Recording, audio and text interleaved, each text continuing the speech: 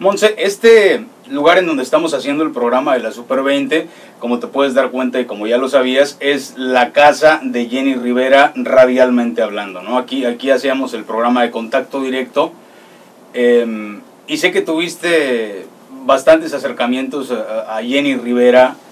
¿Qué consejos te dio la diva de la banda cuando, cuando tú le pediste algún consejo? Cuando que yo le pedí consejos a Jenny, se, su respuesta sería que le tengo que echar muchas ganas, sin estar nerviosa. Porque si estás nerviosa, muchas personas lo van a ver y no se va a mirar muy bien cuando cantas o, o bailas. O cuando haces los dos. Siempre tienes que estar muy segura como ella fue. Ella fue la diva de la banda.